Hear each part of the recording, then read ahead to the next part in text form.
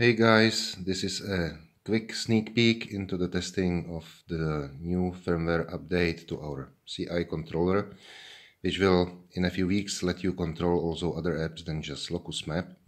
What you see on the screen are Google Maps and you will be able to pan the map, of course in all directions, zoom in, out, revert to your route even show the route because sometimes when uh, you want to select another route it's good to have the overview and of course reverting to your route.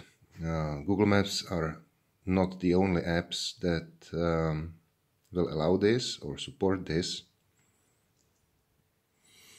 In the first phase the support will be implemented also for Mapy.cz which you see now on the screen. I stopped the video to change the app so of course also the basic uh, map control, by the way the basic map control like uh, panning and zooming, it will work for practically any touch-based um, application.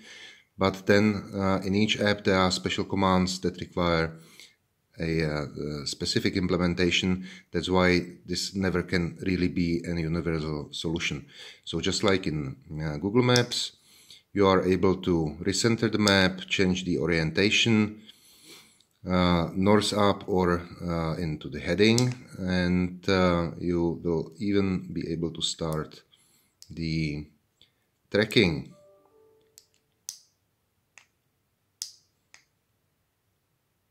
Yeah, there you go. Start track.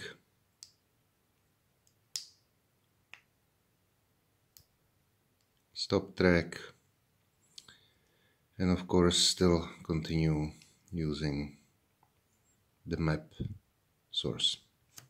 And the third one is uh, Sygic. So of course again panning, zooming and reverting to your track uh, and uh, changing the map orientation.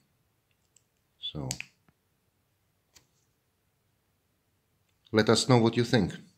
Thanks for watching. Bye.